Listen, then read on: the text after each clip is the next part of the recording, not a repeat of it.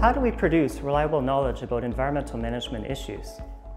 Is quantitative research really more rigorous and reliable than qualitative research? What is rigorous research? What criteria are there for judging rigor? Hi there, my name is Keith Barney and I will be the convener for EMDV 8102 Research Methods for Environmental Management.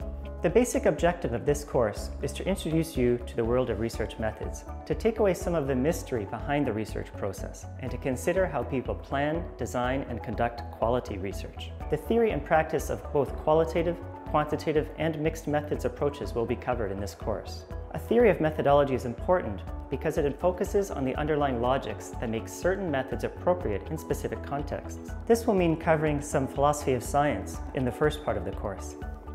The second part of the course will delve into the world of qualitative methods, there will be sessions on environmental narratives, the extended case study method, methods in ethnographic fieldwork, participatory action research, and critical approaches to spatial mapping. In each of these weeks, we will also learn about particular research tools, such as interviews, questionnaires, focus groups, participant observation, and writing field notes. Issues of ethics and researcher positionality will be incorporated into each session.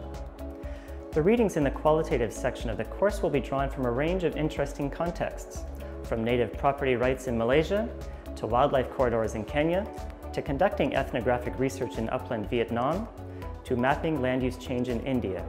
And I will be sharing stories and insights from my own long-term fieldwork in the country of Laos as well. The third section of the course will be a five-week block on quantitative methods, and the final session of the class will focus on strategies for effectively linking research with public policy. This course is fully compatible with online learning that can fit with a busy work schedule.